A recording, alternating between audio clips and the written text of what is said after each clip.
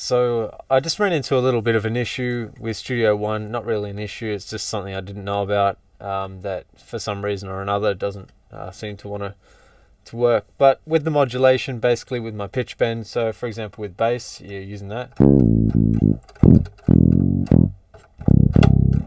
Um, so basically, I have pitch bend on the bass, and normally I would use my mod wheel on a, a MPK 49 keyboard.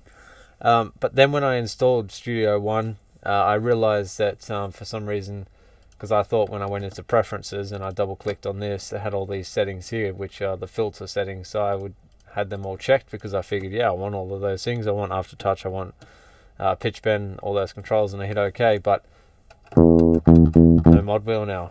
Uh, so I came across this uh, through reading something online, and I realized if you uncheck all of these by default, it automatically picks up your MIDI controls. So, so there you go. It's back working again. Just thought I'd do that. Quick tip. Um, and if anyone's having this problem, you know, there's there's your fix right there. So, hope it helps somebody out. Peace.